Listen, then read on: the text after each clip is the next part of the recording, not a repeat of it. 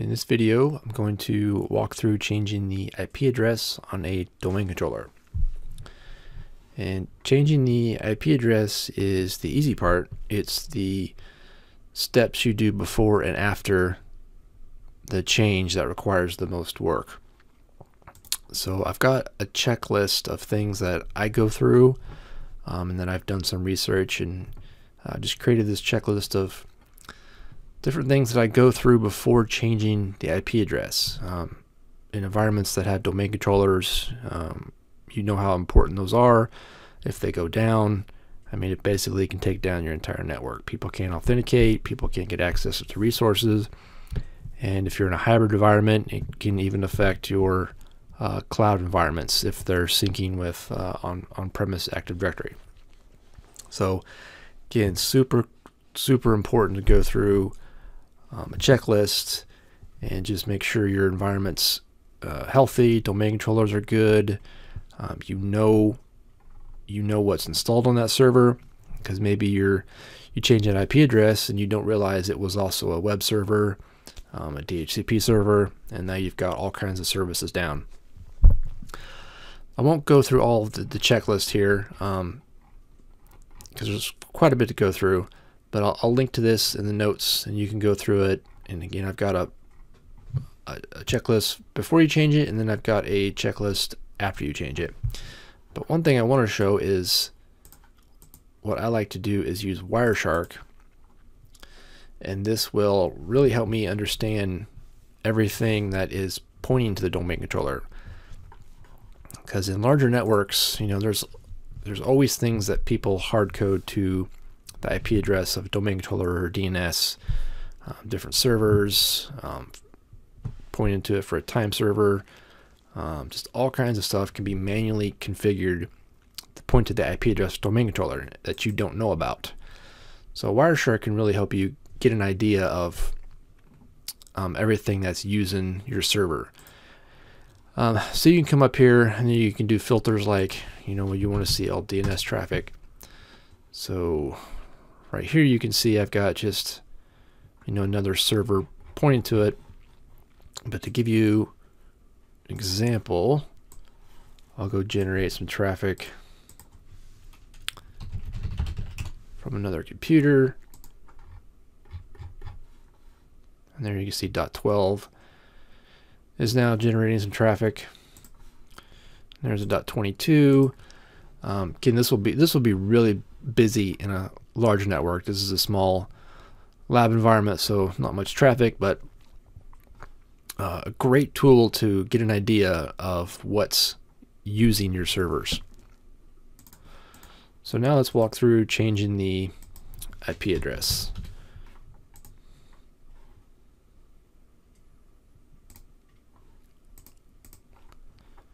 So you just need to come into your adapter properties, and I'm changing to .15 and if you're changing to different subnets there's some additional steps that you need to do. Um, you may need to update sites and services.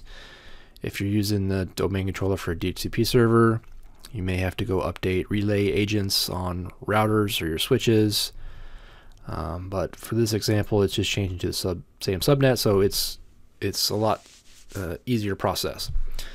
Um, so that's all I really need to change. Subnet's the same, default gateway is the same, DNS settings are the same, and a, a little tip: the, the Microsoft best practice is, is to have your preferred DNS server point to a, um, a another DNS server, and then your alternative should be the loopback address, which is 172.0.0 of the server. So click OK. And then there is a few commands that need to be run. So I need to run ipconfig flush DNS to clear the local cache. Then I need to do ipconfig register DNS to update the DNS records. Then run a DC diag slash fix to fix any resource records. And that should be it. If everything worked out fine, um, the IP address should be updated. All the DNS records are are updated. So after this, there there is some post changes that you may need to run through. Like um, you know, uh, DHCP, you may need to update that. Um, again, I've pointed this out already, but if you've got systems that are manually pointing to this domain controller IP address, you need to update those.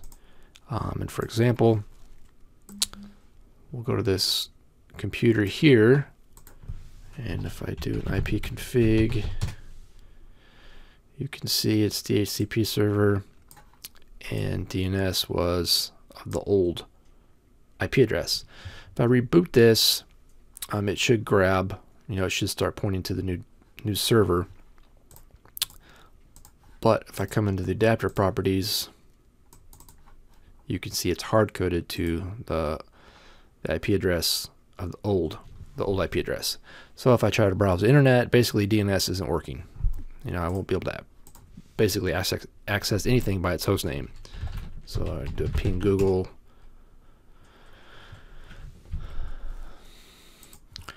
So Google was responding because it's it's locally cached, but if I ping another name,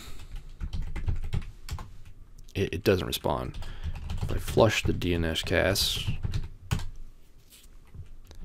then ping Google, it no longer works because again that I had run some pings before changing the IP address, so it had um, Google in its local cache. So now that it's pointing to, it's still pointing to the old domain controller. Tries to do a DNS lookup, it can't access it because that IP address doesn't exist anymore. So I have to come in here to change this.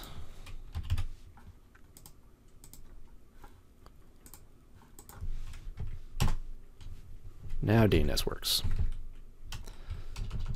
So that's why it's important to, to run through a checklist and, and use something like Wireshark to get an idea of systems that are pointing to the IP address of your domain controller. Because when I changed the domain controller, this computer here was completely useless. DNS didn't work, which when DNS doesn't work, nothing's going to work. So a few more tests. So you can see I can ping DC2 by its host name. It's resolved into the correct IP. Um, I'll jump over to another domain controller. Just want to make sure It from another domain controller. And yes, I can. Um, you may want to do a DC diag test DNS.